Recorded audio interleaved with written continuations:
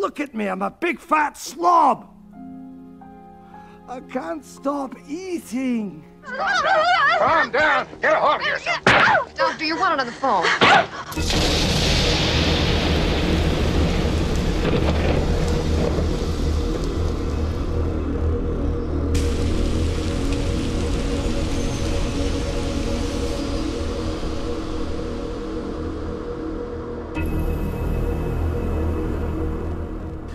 Welcome to Shep Rambles, where I am Shep and I tend to ramble. About what? Anything and everything. And apparently, we got some people causing other people problems, depending upon how you look at it. So, passenger sparks debate online after charging obese passenger. Is he obese or was he fluffy? That's a good question. Or was he damn? Or, or maybe it was, oh, hell no. Uh, you're probably wondering where I got that from. It's only funny if you know where I got it from. Anyway, uh, they want to charge an obese passenger $150 to sit next to him on a flight. Jerk! Anyway, a man has split the internet over an admission that he charged an obese plane passenger $150 for a five hour flight because a passenger was allegedly taking up quite a bit of the man's seat. How do you charge another person? Did he complain and the airline charged him? Or did he say, Yo, man, you're fat. You owe me 150 bucks if you're going to sit your ass right there? I don't know. the anonymous traveler course, he'd want to be anomalous. He'd get his ass kicked. The anonymous traveler posted the account on Reddit's Am I the A Yes You Are forum searching for feedback about his alleged actions. So this month, I was flying across the country on a long five hour flight, which I had booked and seats selected for. I specifically chose an aisle seat in a row of two.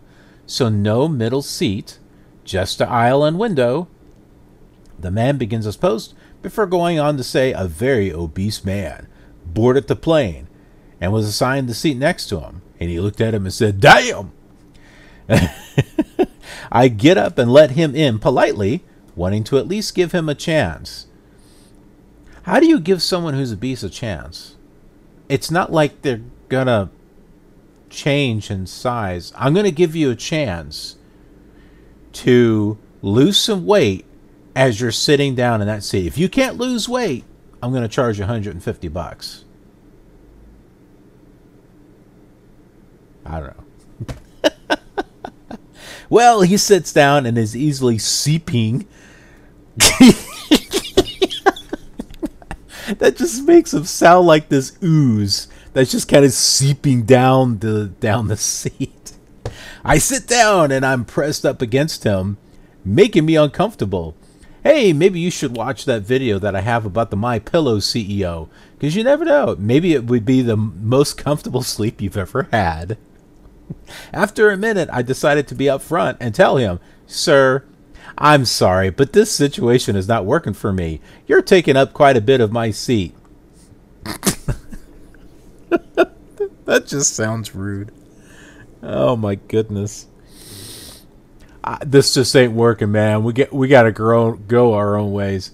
After the overweight passenger tried to be narrower, I guess he tried to lose weight. oh, I've just sit this way for five hours.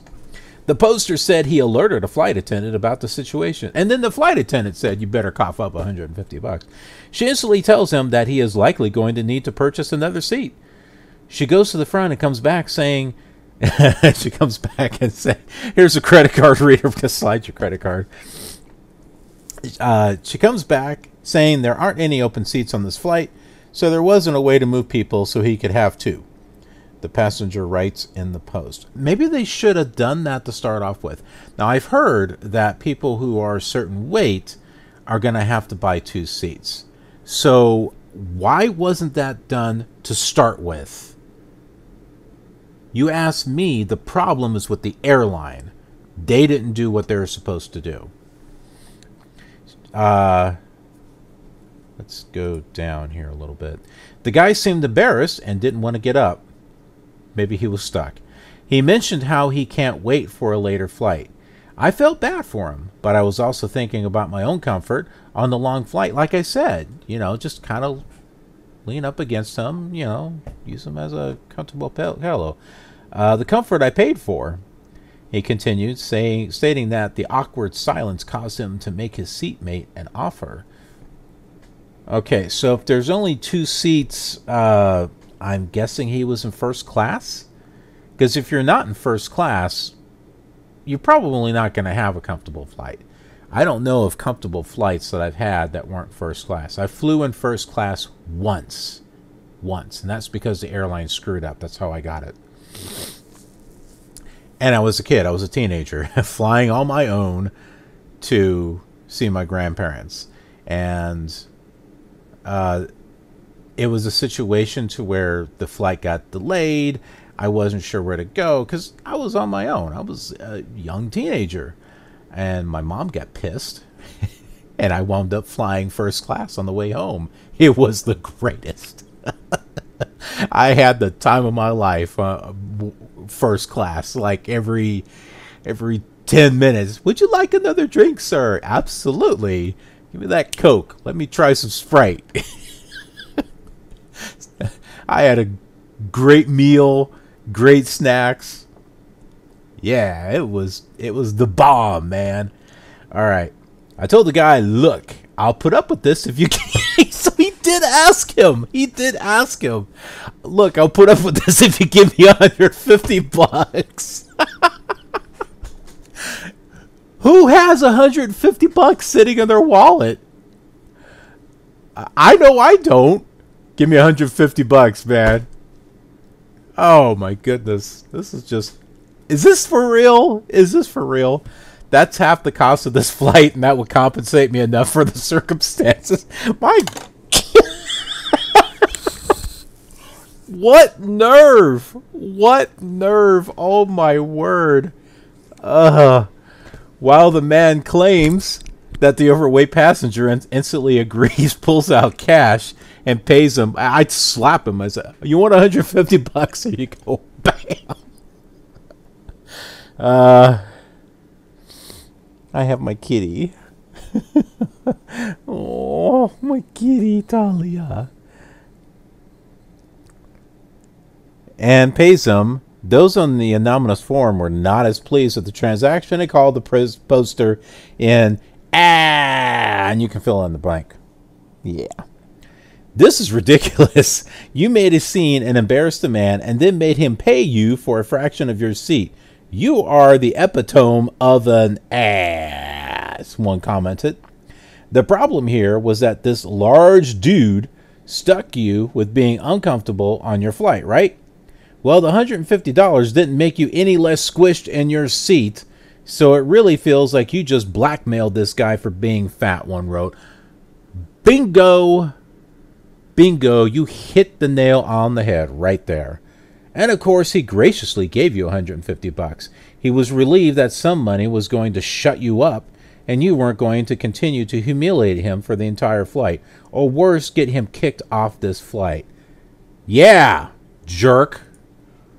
Those on the flight with the man also reportedly called him names under their breath after he proposed the payment. What a jerk. I'm sorry. You know, there are situations where you just have to hit someone, and that's one of them. However, many agree with the traveler's idea, and those are the SJWs. Oh, I'm sorry. I'm sorry. Yeah, the SJWs and liberals are the ones that applauded his compromise. You compromised. He compromised. It was an awkward situation of nobody's making. I think half the cost of the flight was maybe a bit steep, though. If he was only in a third of your seat, having said that, five hours is a long time. Just deal with it. Pussy. Uh, guy knew he was fat, could have bought two seats, but didn't. No, the airline should have charged them. That's what they're supposed to do. They didn't. It's not the guy's fault. Original poster let the guy stay on the flight, have enough room to accommodate without paying for two seats, and without the embarrassment uh, inconvenience of having to get off and wait for the next flight. that wasn't fully booked.